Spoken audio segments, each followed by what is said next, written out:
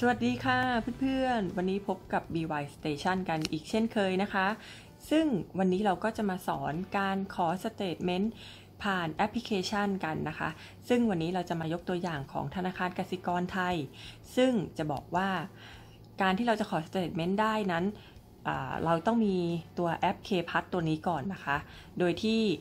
ถ้าเรามีบัญชีกับธนาคารกสิกรไทยเนี่ย เราก็ไปขอ สมัครได้ที่สาขาต่างๆนะคะ เพื่อที่เวลาเราโหลดแอปพลิเคชัน K PLUS ตัวนี้มาแล้วเนี่ยเราจะได้เข้าใช้ได้นะคะ แล้วก็อีกส่วนหนึ่งก็คือ การที่เราจะขอ statement ได้เองเนี่ยเราจะต้องมีอีเมลเป็นของตัวเองด้วยนะคะ ทีนี้เราก่อนที่เราจะเข้าสู่เนื้อหาเนี่ยก็ขอบอกเพิ่มนิดนึงว่าทำไมเราถึงต้องมาสอนการขอ statement ผ่านแอปพลิเคชันกัน ก็คือเพื่อนๆเนี่ยอาจจะเคยแบบสมัครบัตรเครดิต บัตรกดเงินสด กู้หรืออะไรอย่างเงี้ยนะคะ ซึ่งทางเจ้าหน้าที่เขาก็จะต้องบอกว่าขอ statement ย้อนหลังของคุณ 6 เดือน 1 ปี หรืออะไรอย่างเงี้ย ซึ่งมันทำให้เราอะต้องไปเสียค่าธรรมเนียมเวลาที่เราไปขอ statement กับที่ธนาคาร ซึ่งบางที่ก็คิดเดือนละ 20 บาท บางที่ก็มี 100 200 อันนี้ก็ไม่รู้ว่าเกณฑ์นั้นคืออะไรนะคะ แต่ว่าแต่ละที่ก็อาจจะไม่เหมือนกัน ดังนั้นถ้าเรามีแอปพลิเคชันของธนาคารเนี่ย เราก็สามารถที่จะขอ statement ได้เช่นกัน เดี๋ยววันอื่นๆ เราจะมาแนะนำของแอปธนาคารอื่นๆกันนะคะ แต่ว่าวันนี้เราเข้ามาดูที่ K PLUS กันก่อนเนาะ โอเค เมื่อเรากดเข้ามาที่แอปพลิเคชัน K PLUS แล้วนะคะ เราก็กดไปตรงธุรกรรมด้านล่างนะคะ นี่คือหน้าแรกของแอป K PLUS เนาะ เข้าไปที่ธุรกรรม มันก็จะให้เราใส่รหัสผ่านที่เราตั้งไว้ หรือบางท่านอาจจะเซตเป็นด้วยลายนิ้วมือนะคะ แล้วก็กดเข้าไปเลย เมื่อเข้ามาแล้วนะคะ ก็จะเป็นหน้าแรกของเขาเหมือนกันในการ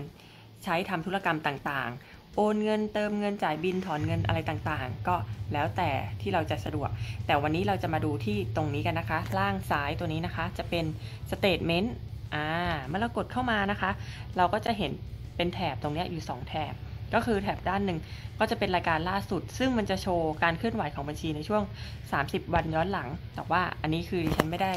ทำความเคลื่อนไหวอะไรกับบัญชีนี้เลยเนาะก็มาดูที่ขอสเตทเมนต์นะคะ อยู่ทางด้านขวาเราแตะไปเนี่ย แล้วมันจะมีให้เลือกด้วยนะคะ ว่าคุณจะขอเป็นภาษาไทยหรือภาษาอังกฤษนะคะตัวอย่างครั้งนี้เราขอเป็นภาษาไทยดูแล้วกัน แล้วก็อีเมลที่เราต้องใส่เพื่อที่มันจะได้ส่ง statement เนี้ยมาให้กับเราได้ เดี๋ยวเราเติมไปก่อนนะคะ จะได้ไล่ลงไปทีละแถบเลยว่าเราจะต้องทำอะไรกันบ้าง โอเค เมื่อเราใส่อีเมลที่เราต้องการส่งแล้วนะคะ ด้านล่างเนี่ยมันจะโชว์ว่าเดือนที่คุณต้องการรายการความเคลื่อนไหวของทางบัญชีนะคะ ก็จะมีทั้งหมด 12 เดือนด้วยกัน โดยนับจากเดือนปัจจุบันย้อนหลังไป 12 เดือน แต่ว่าในการขอสเตทเมนต์แต่ละครั้งอะคะ่ะ มันจะขอได้สูงสุดแค่ 6 เดือนย้อนหลังนะคะ นี่ ถ้าคุณกดมากกว่า 6 เดือนปุ๊บ มันจะขึ้นว่าขออภัยคุณสามารถขอได้สูงสุด 6 เดือนต่อครั้งนะคะ ซึ่งนั่นหมายความว่าถ้าเราจะขอทั้งปีเนี่ย เราก็ต้องทำรายการอย่างเงี้ยสครั้ง โอเคเนาะ ก็เดี๋ยวเราลอง 6 เดือนย้อนหลังก่อน เมื่อเรากรอกข้อมูลครบตามนี้แล้วนะคะ เราก็กดส่งคำขอได้เลย โอเค มันก็จะขึ้นว่าสำเร็จขอ statement สำเร็จนะคะ รายการบัญชีของเราเอง ตั้งแต่เดือนไหนถึงเดือนไหนส่งไปที่อีเมลอะไรนะคะ แค่นี้ก็เรียบร้อยแล้ว ธนาคารได้รับคำขอของคุณเรียบร้อยจะทำการจัดส่งภายใน 3 ชั่วโมง แต่ว่าเดี๋ยวเราลองไปเปิดดูกันเนาะว่ามันจะมาเลยหรือเปล่ากดตกลงไปนะคะ แล้วถ้าคุณต้องการทำซ้ำอีกครั้งหนึ่งดูนะคะ กดด้านล่าง นี้ไปอย่างไวๆเลยเนาะขอเป็นภาษาอังกฤษบ้านละกันจะได้อินเตอร์ขึ้นมานิดนึงโอเคใส่อีเมลเข้าไปนะคะ โอเค แล้วเมื่อกี้เราขอถึงเดือนพฤศจิกานะคะ เราก็ขอย้อนกลับไปอีก 6 เดือน แล้วก็กดส่งคำขอเรียบร้อย เห็นไหมคะ ง่ายจังเลย แล้วเดี๋ยวเราไปเปิดคอมเพื่อดูอีเมลที่ทางธนาคารส่งไปให้กันนะคะ ว่าเราจะเห็นหน้าตา statement ของตัวเองเป็นยังไง โอเคค่ะ ค่ะ แล้วทีนี้นะคะเราก็มาเปิดที่อีเมลของตัวเองนะคะ ลองเข้าไปดูนี่นะคะ ส่งมาจาก K PLUS กดเข้าไป พอกดเข้าไปนะคะ มันก็จะขึ้นเป็นชีตแรกนะคะ มันก็จะเหมือนกับบอกแล้วว่า การที่เราจะเปิดดูรายการเนี่ย เราต้องใส่อะไรลงไปบ้างนะคะ รหัสในการที่จะเข้าดูได้เนี่ย ไม่ใช่ว่าใครก็จะมาเอาสเตทเมนต์เราไปดูได้นะคะ ก็จะเป็นดีดีอันนี้คือวันเกิดของท่านนะคะ mm เดือนเกิดของท่านแล้วก็ YYY นี่คือปีคศเกิดนะคะ เป็นคศเกิด ซึ่งก็คือเราต้องใส่ทั้งหมดรหัสเข้าไป 8 หลักด้วยกันนะคะ เป็นวันเกิดเดือนแล้วก็ปีคศนะคะ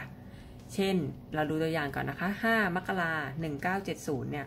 คุณก็ถ้าคุณเกิด 5 มกรา1970 คุณก็ต้องใส่ 0501 แล้วก็ 1970 นะคะ โอเค ทีนี้มันจะมีอยู่ 2 อันใช่ไหมคะ เราลองอ่าเดี๋ยวนะ ลองเปิดดูอันแรก ว่ามันจะคืออะไร นี่มันก็จะบอกคำอธิบายอะไรเนี่ย อ๋อ บอกคำอธิบายเป็นเกี่ยวกับโค้ดที่มันจะขึ้นนะคะว่าเออใช่ไหม ความหมายของรหัสที่ปรากฏ อืม ใช่ ว่า ถ้ามีรหัสแบบนี้ปรากฏขึ้น หมายความว่าอะไรแบบนี้หมายความว่าอะไรนะคะ ส่วนอีกชีตหนึ่งตัวเนี้ยจะคือสเตทเมนต์และกดดาวน์โหลดเลยเนาะโอเค เดี๋ยวเราเปิดขึ้นมา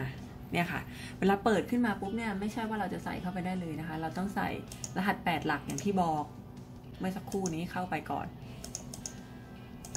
ไม่ได้ อ๋อ กดได้เลย กดเลขได้เลย โอเค เมื่อคุณใส่วันเดือนปีเกิดที่เป็นคอสอเข้าไปแล้วกด submit นั่นไงคุณก็จะได้สเตทเมนต์ของคุณมาแล้ว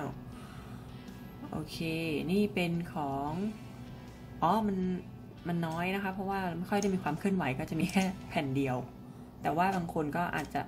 ตรงเนี้ยค่ะ รายการก็อาจจะเยอะอาจจะมีหลายหน้าก็ได้ เพราะว่าบัญชีนี้ ดิฉันไม่ค่อยได้เดินบัญชี ไม่ค่อยได้ทำความเคลื่อนไหวอะไรกับมันเท่าไหร่ เดี๋ยวเรามาดูอีกอีกครั้งหนึ่งที่เราขอเป็นภาษาอังกฤษว่าหน้าตาจะเป็นยังไงนะคะ โอเค ใส่รหัสวันเดือนปีเกิดเข้าไป กดย้ำนะคะว่าปีเกิดเป็นคศนะคะ ถึงจะเข้าไปดูได้ นี่ไง แล้วก็เป็นแบบภาษาอังกฤษหน้าตาก็จะเป็นแบบนี้ตืดตืดตืดแล้วก็จะมีแบบเหมือนรหัสที่เขาบอกว่ารหัสอะไรหมายความว่าอะไรเงี้ยนะคะ รายการจะน้อยไปสักนิดหนึ่งโอเค แค่นี้นะคะก็เป็นวิธีง่ายๆ ที่คุณสามารถขอสเตทเมนต์ได้เอง โดยไม่ต้องไปเสียค่าธรรมเนียมที่ธนาคารแต่อย่างใด